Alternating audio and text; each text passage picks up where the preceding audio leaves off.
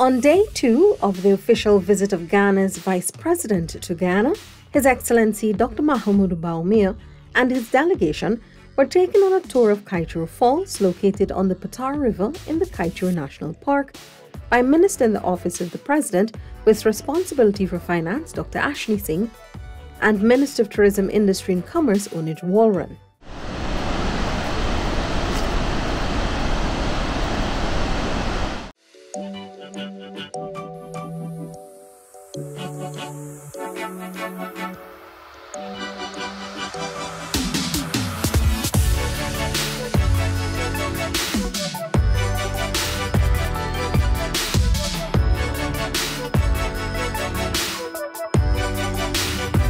Kaieteur Falls is the world's largest single drop waterfall by the volume of water flowing over it.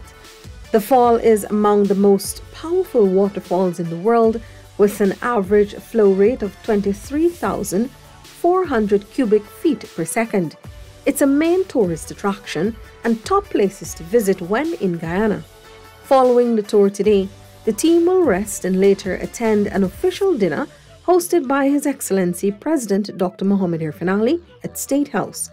The official visit by Dr. Bawumia and his team follows Vice President Dr. Bharrat Jagdeo's visit to the African nation back in October.